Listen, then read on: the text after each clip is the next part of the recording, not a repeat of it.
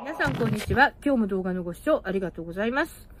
はい。えっ、ー、とね、今日の動画は、えっ、ー、と、実はですね、私ちょっと先日、えっ、ー、と、会社を休むようなちょっと体調不良の日がありまして、あの、今日の動画はそれを心配してっていうね、動画じゃなくって、あの、まあ、いい機会なんで、まあ、こんなような、あの、不良の事故ね、不良の事故が起きた時に、体調が悪くなった時に、まあ、どういうふうに対処をしていけばいいんだろうっていうのを、ちょっと皆さんと一緒に考えれればなと思ったので、今日はその動画を上げていこうかなと思います。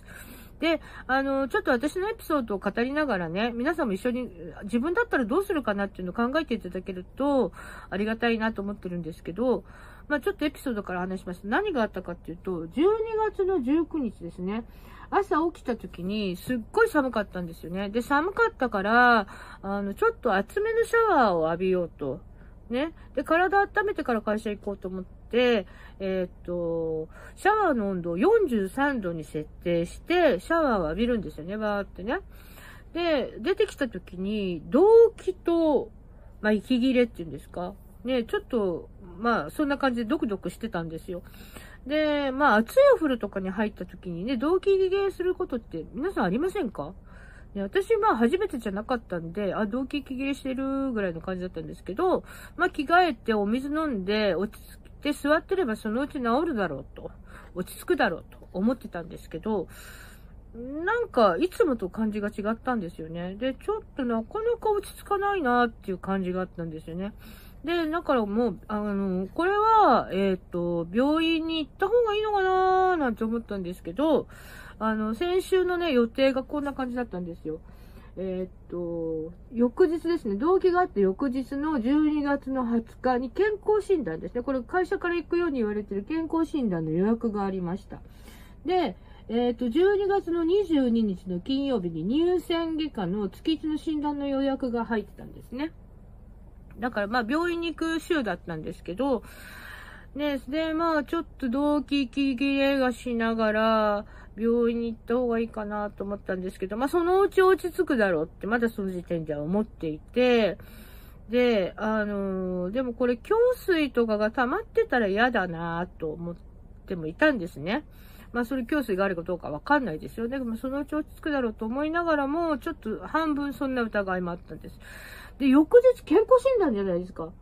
ね。健康診断で、まあ、どうせ胸の写真も撮るし、エコーも撮るし、ね、その検査結果を、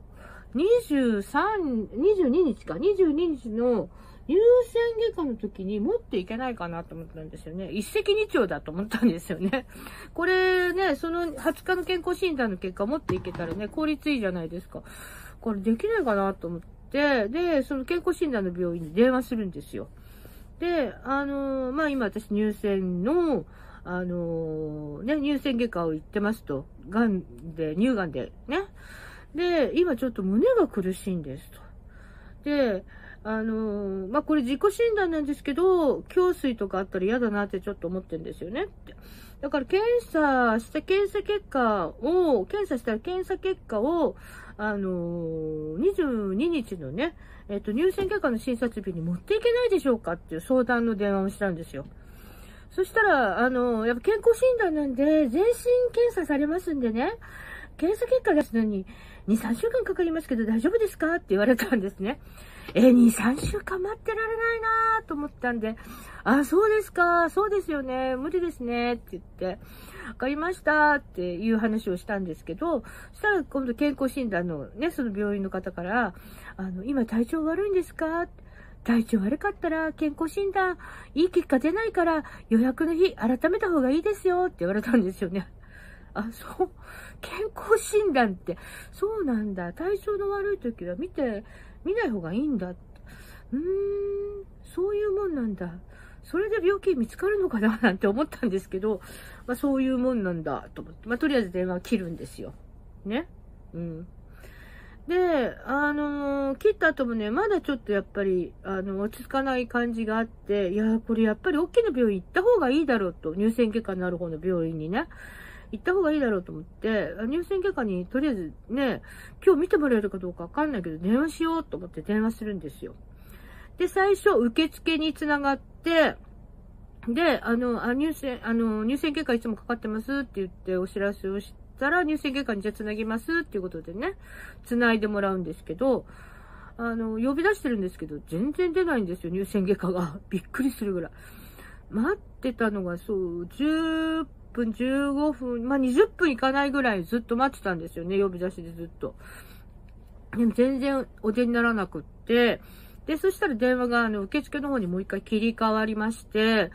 すいません、入選外科の方ずっと呼び出してるんですけど、ずっと話中なんですよね。かけ直されます？それとも待ちます？って聞かれたんで、いや、ここまで待ってたら待つでしょと思って、すいません、待ちます って言って、ずっと待ってたんですけど、まあ、刻一刻とね、会社に行かなきゃいけない時間も迫ってくるし、いや、早く繋がんないかなと思ってたんですけど、結局繋がったのがね、30分後ぐらい。ね。うん。待ちましたね。で、まあ、繋がって、あの、今こんな感じなんですけど、っていう話をしたんですね。胸が苦しくて今日見てもらえないですか？って言って。そしたらやっぱり案の定今日の今日は無理ですねって看護師さんに言われたんですよ。あやっぱりなと思って。で、まあ胸が苦しいんですけど、まあ私ちょっと胸水とかもあったら怖いんで、あの、胸のね、検査を、あの、予約取れないですかって、あの、エコーだったりとか、レントゲンだったりとか、予約取れないですかっていう話もしたんですね。で、あのー、そういう話をしたら、まあ、主治医の先生に言ってくださいって言われたんですね。主治医の先生に言えるのって22日じゃないですか。で、そっから予約取って検査ってまた先延ばしだと思って、うわーと思って、で、まだその時もね、心臓もドキドキしてるし、あの、呼吸もちょっと荒いんですよね。で、これもし何かあったら、ちょっと救急でね、救急車で救急で行っちゃえと思ってたから、もうここでラジオが開かないんだったらもういいやと思ったんですよ。で、電話切ろうかなと思ったら、看護師さん何を思ったか、お家で心電図取れます？って言われたんですね。は？お家で心電図皆さんお家で心電図取れます？で、それってやっぱ心臓疾患とかある方、特別な方じゃないですか。ね一般の方は心臓のその心電図なんて取れます？ねまか不思議なこと言われたんですよね。で、いや、取れないですって、私その時即答したんですけど、で、わかりましたって、とりあえず電話切ったんですけどね。電話切った後に、え、看護師さんだよな、今、と思って。なんか、呼吸が悪いんだったら、その深呼吸してくださいとか、そういう気の利いたことは言えないのかなってちょっと思ったんですけど、まあ、とりあえずちょっとあの、まだその時に、その時点でもうそんなこと思いながらも、心臓もドキドキしてるし、呼吸も荒いんで、いや、とりあえずそうだ、深呼吸、深呼吸、深呼吸しようと思って、深呼吸をバーってするんですよね。で、深呼吸しながら、あ、ちょっと待って、私本当に今、救急車呼ばなきゃいけないほど苦しいのどうなのって。ねえ。ちょっと自分でもパニクってるから、あのちょっと状況が把握しきれない。自分の体なのに把握しきれないから、ちょっとこれボディスキャンだなと思って。で、あの、携帯にね、入れてるアプリなんですけど、メディトピアって瞑想のアプリがあって、そのアプリを立ち上げて、で、ボディスキャンっていうところを押して、ボディスキャンをするんですね。で、まあ、ボディスキャンのやり方の説明がずっと流れてるんですけど、まあ、全身頭からね、つま先までの説明が流れてるんだけど、いや、ちょっと待って、ちょっと、そんな今余裕がなくて、私、胸だ、胸、胸、胸。胸のボディスキャンしなきゃと思って、で、どこが苦しいの？痛みはあるの？あ、痛みないないない。苦しい、どこが苦しい？こっち？あ、ここじゃない。こっち？こっち？こっち？みたいに自分で問いかけるんですよね。で、そうすると、なんか自分でもうね、見えてくるんですよね。不思議なことにね。ちょっと絵に描いちゃいますけど、これね、こう、私のボディがあったとすると、ここにね、ここに、ここに1.5センチの乳がんがあるんですけど、乳がんがある側のね、胸のね、この辺、真ん中寄りのこの辺がちょっと圧迫感のある苦しさがあったんですよ。で、苦しいなと思って。で、まあ呼吸もなかなか整わないし、いや、どうしようかな。これどうしたらいいんだろうなってずっと思いながらね、ちょっと落ち着けるのかな。このまま落ち着けるのかなと思ったんだけど、まあなかなか落ち着いてこないし、ちょっと、とりあえず、病院は見てもらえないんだ。どうしようって。あ、でも心電図って言ってたね、さっき先生。先生じゃない、看護師さん。心電図？あ、胸水だけじゃなくて心臓の心配もしなきゃいけないんだと思って、心筋梗塞とか、ね、心不全とか？ええー、と思って。あ、ってことはちょっとかかりつけの先生にちょっとすぐ行こうと思ったんですね。だから、すぐ行こうと思って、そこでも会社に電話して、すいません、ちょっと今日体調悪いんで、午前中半期しますって言って電話をするんですけど、ねえ、あの、で、かかりつけの先生のところまで歩いて、そうですね、10分いかないぐらい、7、8分ぐらいなんですけど、毎日6キロ歩いてる私がですよ。もうね、そこの病院行くまでにぜいぜいハーハーですよ。で、着いた時には、もう受付のカウンターのところに、ブワーって手ついて、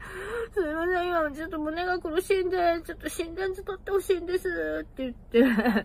ね。まあ、あの、並んでたわけじゃなくて、すぐあの、見てもらえたんですけど、あの、え、大丈夫？とかって言ってくださって、で、心電図の検査室にすぐ案内してくださって、心電図取ってもらって、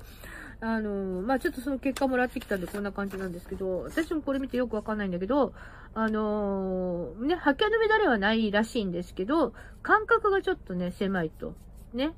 あの、まあ、ドキドキしてるからそうなんでしょうけどね。で、あのー、まあ、とりあえずちょっとそんな状況。で、えっ、ー、と、まあ、先生の診断を受けるまでに待合室で待ってる時に、看護師さんが来てくださって、血中酸素を測るんですね。あの、コロナの時に皆さん指に挟まれたやつや、やられた方もいらっしゃると思うんですけど、あれを、あの、測った時に89だったんです。で、まあ平均値よりちょっと低いんですよね。で、まあ胸も苦しかったし、呼吸も荒かったし、89なんだって。そこまででもだいぶ収まってるから、本当に苦しかった時はもっとね、血中酸素って低かったのかもしれないんですけど、かなり苦しかったです。うん、で、し、待ってる間に、もうとにかく落ち着こうと思って、本当にずっと深呼吸をずーっとしてんですよ、ずーっとね。で、先生に呼ばれて、かかりつけの先生に呼ばれて、で、あの、先生胸苦しい、と。で、まあ、乳がんになったことも先生知ってるし、あの、大きな病院に行ってることも知ってるから、もう先生ちょっと、私、胸水とか心配なんだけどって言ったら、先生もすぐ、レントゲン取ろうって言って、レントゲン室連れてってくれって言って、で、レントゲン取ってくださったんです。で、レントゲン取ったんだけど、あの、特殊な影とかは見つからなかったんですね。胸水の影とかは。で、あの、ちょっと原因がわからずなんですけど、あの、もうね、かかりつけの先生、本当に神、神対応。あのね、今心電図コピー取ってるから、あの、今度ニュース行くときにそれ持ってってって言ってくださったんですよ。で、あの、レントゲンの写真も、あの、まあ、先生のパソコンに出てるんですけど、先生写真撮っていいですかって、あ、いいよいいよ、撮って持ってきなって言ってくださって、で、携帯にその写真を収めて、あの、22日のね、あの、診察日に持ってくんですけど、まあ、とにかくね、先生、神対応でしたね。本当に素晴らしい。で、まあ、先生の顔見たらだいぶ落ち着いたんですけど、あの、まあ、午後ね、病院じゃなくて、が、あの、会社ね、会社。会社にね、行くつもりもあったんですけど、まあ、ちょっと倦怠感がすごかったのと、まあ、こんな風にね、ちょっと心拍数が上がったりとか、あの、呼吸も苦しかったりした後なんで、まあ、これ会社に行ってから何かあったらまたね、皆さんにね、会社の人に迷惑かかっちゃうから、とりあえず会社をお休みしますっていうことを連絡して、半日ゆっくりしてて、だいぶかなり落ち着いて、で、えー、っと、次の日ですね、20日、そして21日と会社に行って、まあ、いつも通りですね、まあ、そこで何か起こることもなく、普通に元気に仕事をして、あので、そして昨日23、うんと、22日か。22日は乳腺外科の、えー、診断日だったんで、牛腺外科に行ってきたんですけど、あのまあ私、息苦しいって病院に電話してるんで、まあカルテの方にも書かれてて、先生もそれ把握されてて、大丈夫だったみたいな話をされて、あの、かかりつけの先生のところで心電図取ったんですよって言って、この心電図のね、これを先生にお見せして、あとレントゲンも取りましたって、レントゲンのね、あの、携帯に収めた画像を見てもらって、いや、胸水とか大丈夫そうねって先生も言ってて、で、あの、とりあえずでも、まあ、もうちょっと先でもいいかなと思ってたけど、あの、CT と骨心子の検査はもう来月取ろっかって、早々に取ろっかって言って、診察日の前にね、あの、取ってきてって言われて、まあ、そっちの予約を入れて、ってもらったんですね。で、あの、まあ、先生にも一応お話ししたんですけど、電話した時に心電図取ってって言われたんですけど、先生心電図ってあれ一般的にお家取れるもんなんですかってやったことないんですけどって言ったら、先生が、え、そんなこと言われたの？ごめんごめんごめん。それないよねって言って。ねえ、本当にごめんねって言って先生もおっしゃってたんですけどね。うん。で、まあ、そんなことがあって、あの、お家に帰ってきて、で、ネット立ち上げて、YouTube をパチってつけたら、たまたまですね、たまたま、えー、っと、ドクタートッシュ先生っていう方が、緩和ケア科の先生なんですけど、YouTube チャンネルやられてる先生がいらっしゃって、あのー、その先生のね、動画がおすすめ動画に上がってきたんですけど、まあ、多分過去動画だったと思うんですけど、後でまたね、ちょっと、もう一回探さなきゃいけないんだけど、見つかったら、ちょっとまたリンク貼っておきますけど、あのー、トルソー症候群っていうのの説明を動画で上げてらしゃったんですね。で、トルソー症候群って何だろうって聞いたことないなと思って、その動画ずっと拝聴してたんですけど、結局、がん患者さんは血栓ができやすいらしいんですよね。血栓。うん、あの、血管の詰まりっていうんですか、ね、で、あの、脳梗塞とかが起きやすいという話の説明をされてたんですよ。えー、脳梗塞なんだと思ったんだけど、血栓ってことは血液だから、全身ね、体中だから胸とかも、ね、そういうケースもあるんじゃないかな、ね、心筋梗塞とかね、心不全とかね、あるんじゃないかなと思って、まあ、ネットでその後調べるんですけど、あの、胸のケースっていうのがちょっとなかなか見つからず、あの、やっぱり脳の方のね、あの、脳梗塞とかっていう話は出てきてたんですけどね。うんで、あ、そう、胸はないのかなと思ったら、